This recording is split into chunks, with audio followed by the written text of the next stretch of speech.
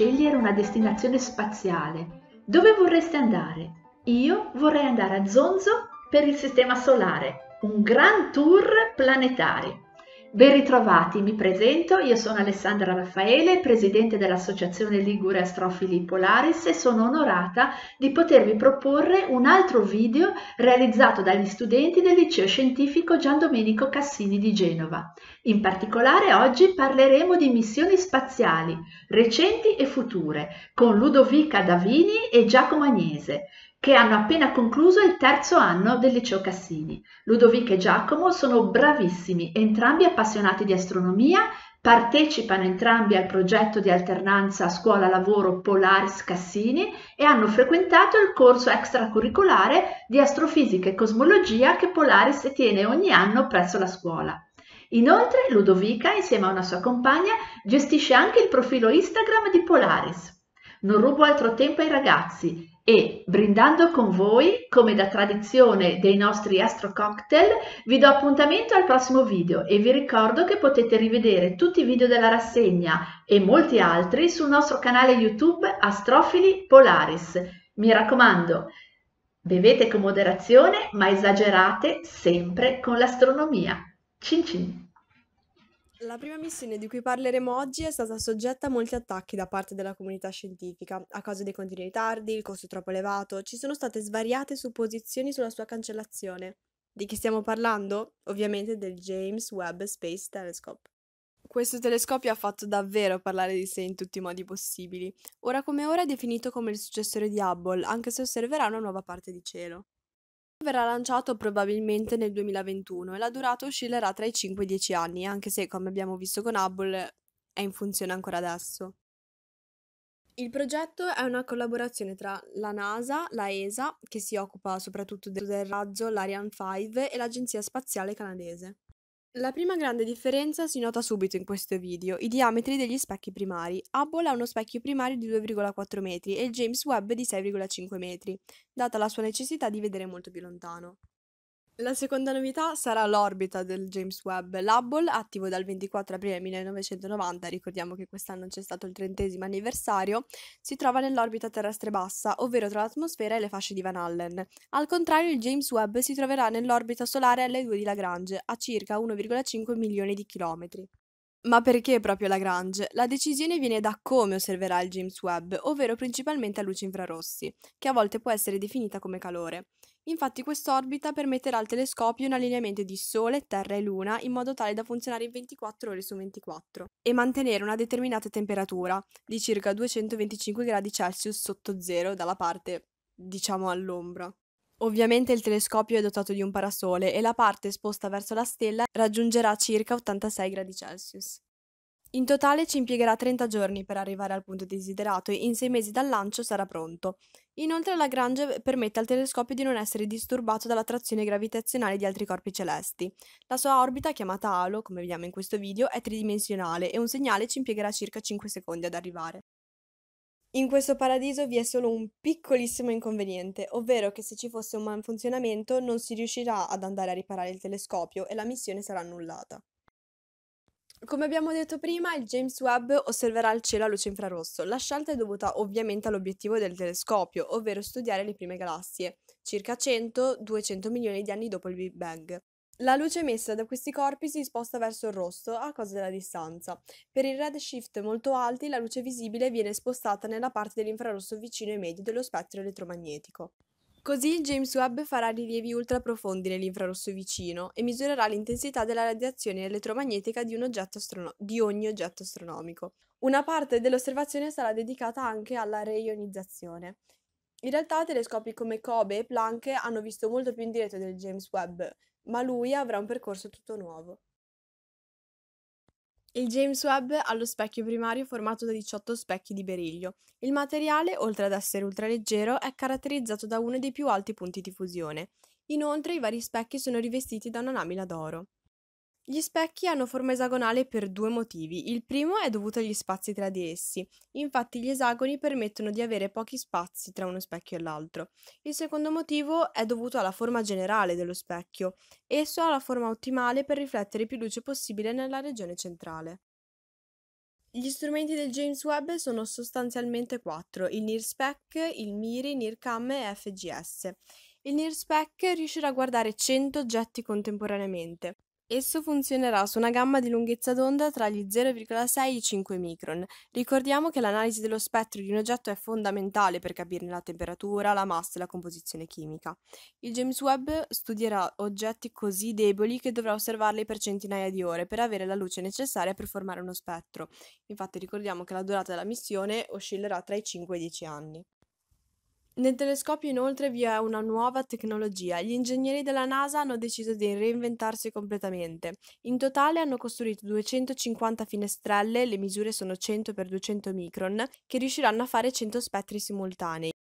Queste finestrelle hanno una specie di coperchio che si apre e si chiude quando viene applicato loro un campo magnetico. Così ogni cellula sarà guidata individualmente e gli scienziati da Terra potranno decidere che parte di cielo osservare. Così con il NIRSPEC il James Webb farà un vero e proprio passo avanti.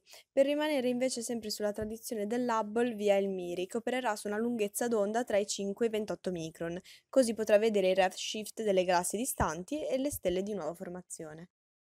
L'ultimo strumento fondamentale per il James Webb è il sensore guida. Esso è stato costruito dall'Agenzia Spaziale Canadese e fornirà informazioni di puntamento ad alta precisione. Infatti, esso aggiorna la misura baricentrica 16 volte al secondo per avere una stabilità di assetto, quindi di puntamento, dell'ordine di milliarcosecondi. A questo punto non ci resta altro che sperare di vedere finalmente il James Webb in orbita. Infatti l'idea del telescopio è nell'aria dal 1989 quando l'astrofisico italiano Riccardo Giacconi, vincitore del premio Nobel per la fisica nel 2002, avanzò l'idea di un successore dell'Hubble, per rispondere finalmente a una delle domande più famose della storia umana: da cosa tutto ha avuto origine. It's one small step for man, one giant leap for mankind. Probabilmente tutti avrete riconosciuto la celebre frase pronunciata da Armstrong quando mosse il primo passo sul suolo lunare, ma sapevate che la NASA sta lavorando a un programma per riportare l'uomo sulla Luna nel prossimo futuro? Questo programma si chiamerà Artemis, che secondo la mitologia greca era la gemella di Apollo. Questo per ricordare il celebre programma Apollo che portò l'uomo sulla Luna tra il 1969 e il 1972. Da allora non siamo più tornati con missioni umane sul nostro satellite, ma la NASA ha come obiettivo di portarvici la prima donna e il prossimo uomo entro il 2024.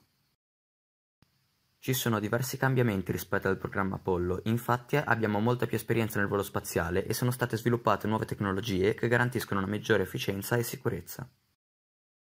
La prima missione in programma è Artemis 1 e sarà senza equipaggio. La navetta Orion si porterà in orbita lunare e farà ritorno sulla Terra con lo scopo di testare il razzo e la traiettoria. La partenza di questa missione è prevista per il 2021.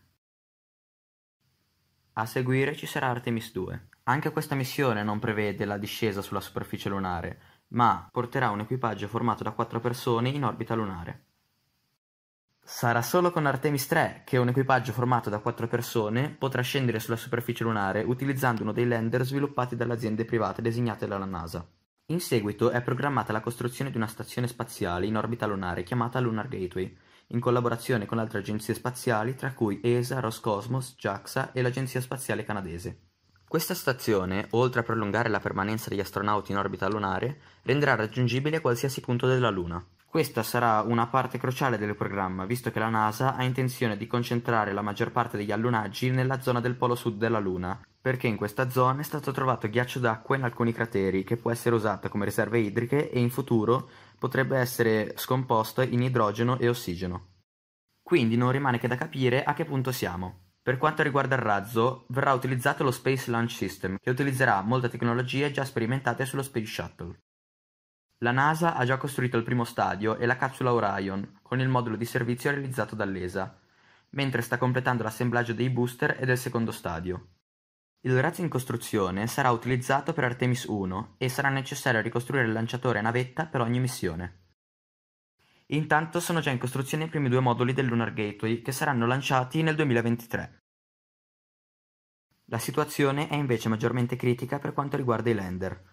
La NASA si è affidata ai privati e ha selezionato tre proposte.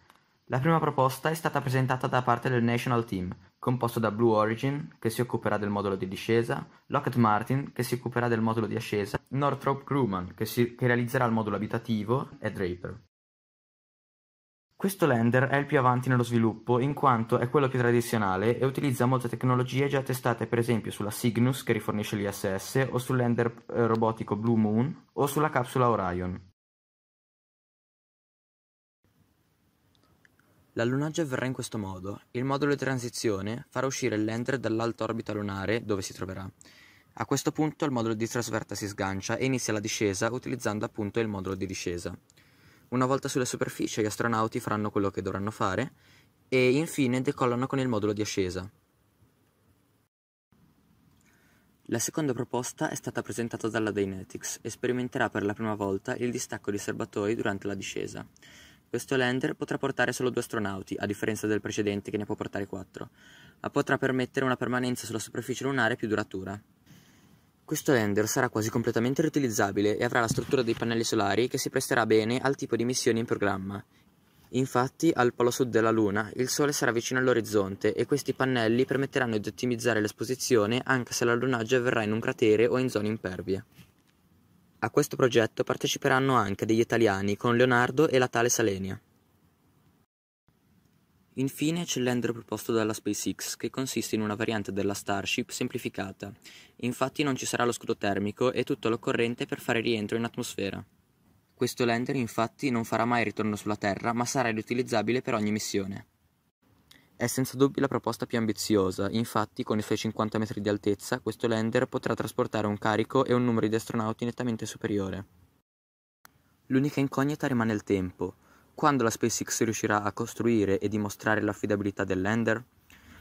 Proprio per questo motivo non si pensa che sarà utilizzato per Artemis 3, ma la NASA ha già annunciato che sceglierà almeno due delle tre proposte, anche perché la concorrenza abbassa i prezzi e stimola la ricerca di nuove soluzioni. A questo punto una domanda sorge spontanea. Dopo Artemis? A differenza del passato, questa volta si va sulla Luna per restare, infatti sono già in corso molti studi per permettere la costruzione di habitat direttamente sul suolo lunare, utilizzando la regolite con la stampa 3D. Ma soprattutto, la Luna sarà il trampolino di lancio per Marte e il Sistema Solare.